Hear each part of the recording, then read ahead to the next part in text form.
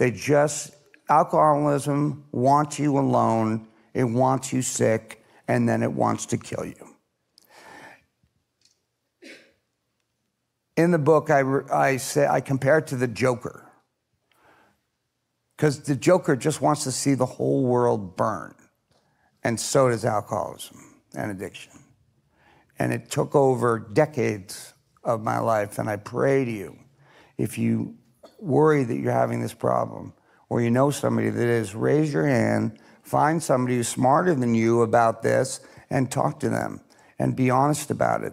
Because the secrets are what kill us. As soon as I, I mean, he was pulled out of me by somebody the first time I admitted it, but I was taking 55 Vicodin a day